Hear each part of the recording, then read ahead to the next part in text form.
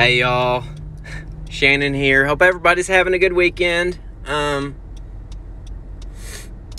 gotten a little tiff with my husband Sharper this morning, but I think we're gonna, you know, we'll get through it. Um, we're gonna throw some baby back ribs on the uh, grill tonight, and I'm making some cheese enchiladas, so I think the kids are gonna love that.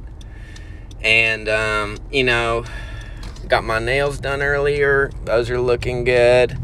Um, really feeling blessed this weekend. I feel like this is I feel like this is my year.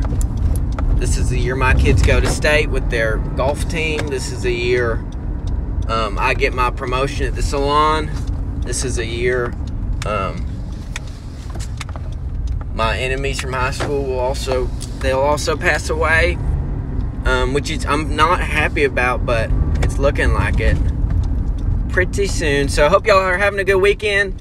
Kick back, have a little marg, get some jalapeno poppers in you, and um, I'll see you soon. Mwah.